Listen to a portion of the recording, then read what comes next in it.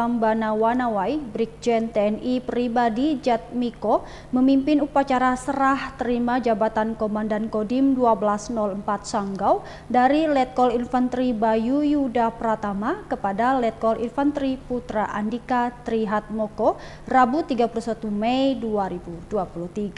Dan Rem berharap agar Dandim yang baru segera melakukan pendekatan dan membantu kesulitan masyarakat di Kabupaten Sanggau.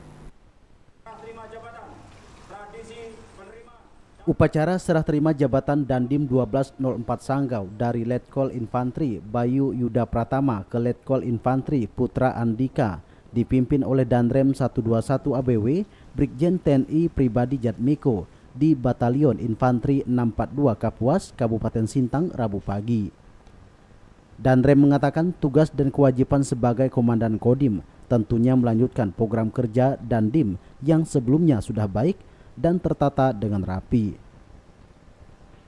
Selain itu, Dandim 1204 Sanggau yang baru diminta segera melakukan koordinasi dengan semua pihak dan pendekatan dengan tokoh masyarakat serta membantu kesulitan masyarakat. Melaksanakan pembinaan wilayah.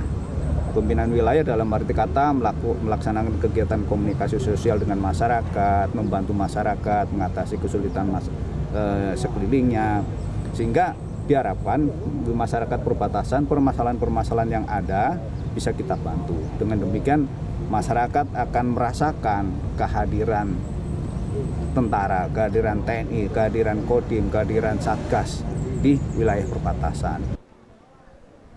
Dan Rem juga meminta agar Dandim yang baru juga bisa bersinergi dengan pemerintah daerah setempat untuk membantu kesulitan masyarakat melalui program TNI Manunggal Membangun Desa.